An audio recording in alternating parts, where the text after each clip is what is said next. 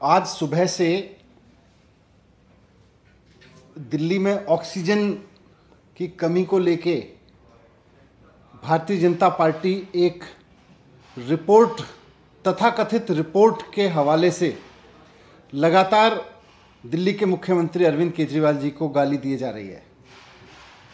मैं सुबह से देख रहा हूँ कि मीडिया में भारतीय जनता पार्टी के बड़े बड़े नेता आके, केंद्रीय मंत्री आके, प्रवक्ता आके देश के बड़े बड़े नेता आके जिनके ऊपर देश की बड़ी बड़ी जिम्मेदारियाँ हैं, वो कुल मिला के कल आज सुबह से एक ही काम कर रहे हैं। मीडिया में बैठ के, ट्विटर पर बैठ के, सोशल मीडिया में अरविंद केजरीवाल जी को गाली दिए जा रहे हैं। एक रिपोर्ट बताई जा रही है, तथाकथित रिपोर्ट, कि दिल्ली में जब कोविड का पीक था तो ऑक्सीजन की कमी नहीं थी और ऑक्सीजन की डिमांड बढ़ा चढ़ा के चार गुना बताई गई थी। ऐसा तथाकथित रिपोर्ट में दावा किया जा रहा है। मैं उस तथाकथित रिपोर्ट का सच आपके सामने रखना चाहता हूँ। और सच ये है कि ऐसी कोई रिपोर्ट है ही नहीं। जी हाँ, मैं दोहरा रहा हूँ। भारतीय जनता पार्टी के नेता सुबह से जिस रिपोर्ट को, जिस तथाकथित रिपोर्ट के हवाले से अरविंद केजरीवाल जी को गाली दिए जा रहे हैं वैसी कोई रिपोर्ट एग्जिस्ट ही नहीं करती। जी हाँ, एग्जिस्ट ही नहीं करती। भारतीय जनता पार्टी झूठ बोल रही है। सुप्रीम कोर्ट ने ऑक्सीजन मामले की सुनवाई करते हुए एक ऑक्सीजन ऑडिट कमेटी बनाई। हमने इस ऑक्सीजन कमेटी के, इस ऑक्सीजन ऑडिट कमेटी के सदस्यों से बात की, कई सदस्यों से बात की है। सबका यह कहना है कि उन्होंने तो कोई रिपोर्ट साइन ही नहीं की। अभी तक उन्होंने कोई रिपोर्ट अप्रूव ही नहीं की।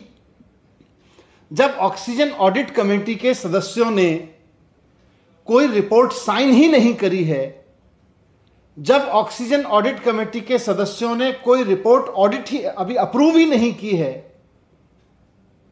तो फिर ये रिपोर्ट है कहाँ? यह कौन सी रिपोर्ट है? यह रिपोर्ट कहाँ से आई? मैं भारतीय जनता पार्टी के नेताओं को जो सुबह से चैनल्स पर बैठ के चिल्ला रहे हैं, उनका गला थक गया होगा थोड़ा सा पानी पिए आराम से और थोड़ा आराम से ठंडे दिमाग से सोच के देखें कि भाई ये रिपोर्ट कहाँ है जिसके बेस पे हम चिल्लाए जा रहे हैं सुबह से? रिपोर्ट कहाँ है?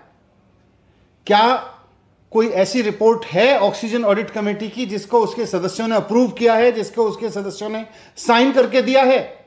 मैं चुनौती देके कहता हूँ कि रिपोर्ट लाइए, कहाँ है वो रिपोर्ट जिसको ऑक्सीजन ऑडिट कमेटी के सदस्यों ने अप्रूव किया हो और जिसको ऑक्सीजन ऑडिट कमेटी के सदस्यों ने साइन किया हो। लाइए वो रिपोर्ट कहाँ है? झूठ की इंतहा होती है। झूठ और मक्कारी की इंतहा होती है और भारतीय जनता पार्टी उस झूठ और मक्कारी के इंतहा पे पहुँच गई है, चरम पे पहुँच गई है। ये मामला सुप्रीम कोर्ट में चल रहा है सबजुडिशियस से और मैं कहना चाहता हूँ कि सबजुडियस सबजुडिशियस मामलों में इस तरह के षड्यंत्र ठीक नहीं है। हम सब जानते हैं कि दिल्ली में अप्रैल के महीने में जब कोविड अपनी पीक पे था तो ऑक्सीजन का संकट हुआ था। दिल्ली के वो लोग जिनके कोई अपने हॉस्पिटल में भर्ती थे, वो इस बात को जानते हैं कि दिल्ली में ऑक्सीजन की किस तरह से कमी हुई थी। और इस मैनेजमेंट की पूरी तरह से ज़िम्मेदारी केंद्र सरकार की है, क्योंकि उसने पूरे देश में ऑक्सीजन मैनेजमेंट का बंटाधार कर दिया था, पूरे देश में ऑक्सीजन का मैसअप कर दिया था। डॉक्टर्स ने चिल्लाया, हॉस्पिटल्स ने चिल्लाया। उसकी ज़िम्मेदारी लेने की जगह Bharatiya Janata party BJP headquarter में बैठ के कोई मनगढ़ंत रिपोर्ट बनाती है और फिर उसको जारी करके कहती है, ये ऑक्सीजन ऑडिट कमेटी की रिपोर्ट है। शर्म आनी चाहिए भारतीय जनता पार्टी के नेताओं को ये महाझूठ बोलते हुए। बीजेपी हेडक्वार्टर में बैठ के रिपोर्ट बनाते हो और उसको ऑक्सीजन ऑडिट कमेटी की रिपोर्ट कहते हो। अगर ऑक्सीजन ऑडिट कमेटी ने कोई रिपोर्ट बनाई है तो भारतीय जनता पार्टी के नेता और तथा कथित बड़े बड़े नेता जो केंद्रीय मंत्री हैं वो रिपोर्ट जारी करें और बताएँ कि उस पर कहाँ है oxygen committee report sign. Oxygen committee के किस किस मेंबर ने साइन कर रखे हैं उस पर ऑक्सीजन कमेटी के किस किस मेंबर ने उस रिपोर्ट को अप्रूव कर रखा है? भारतीय जनता पार्टी के नेता बताएँ। ये भारतीय जनता पार्टी जो है, अपने हेडक्वार्टर में बैठ के रिपोर्ट बनाती है और फिर कहती है, ये अरविंद केजरीवाल जी को गाली देने पर शुरू आ जाती है। ये वस्तुतः अरविंद केजरीवाल जी को गाली नहीं दे रहे हैं। ये उन तमाम लोगों को गाली दे रहे हैं जिन्होंने अप्रैल में ऑक्सीजन के मिसमैनेजमेंट के कारण, केंद्र सरकार के ऑक्सीजन मिसमैनेजमेंट के कारण अपने लोग खोए। वो तमाम लोग झूठ बोल रहे हैं।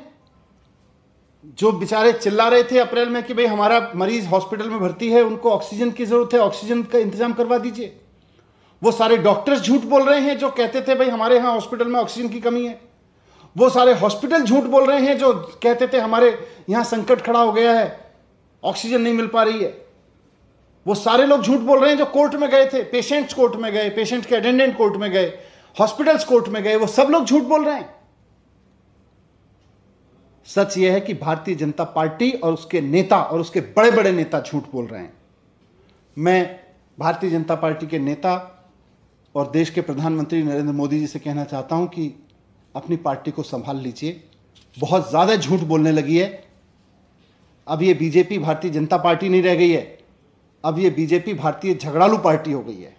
रोज झगड़ती रहती है किसी ना किसी से, झूठे चीज़ों पर झगड़ती रहती है।